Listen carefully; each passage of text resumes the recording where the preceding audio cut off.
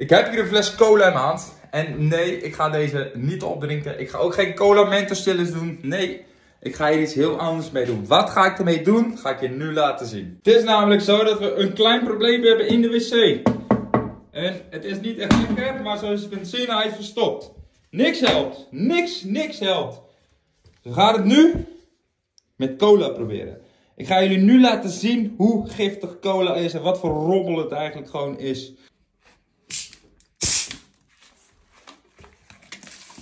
Gootsteenontstopper. De beste wc-ontstopper ter wereld. Co- ziet er vreemd uit? Coca-Cola.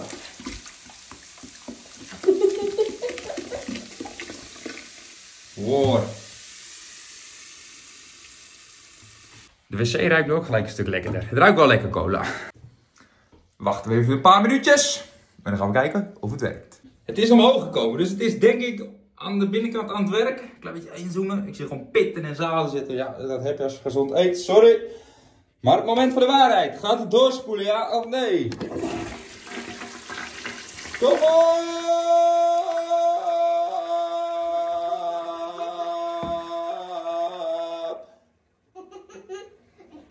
Hé, wat rijst daar?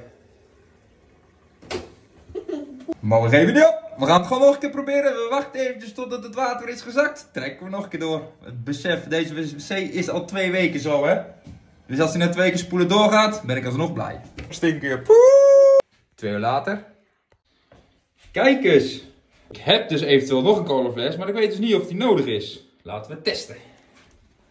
Trek maar door. Kijk eens, hij doet het gewoon weer. Wat is dus het beste als je een verstopte wc hebt of gootsteen?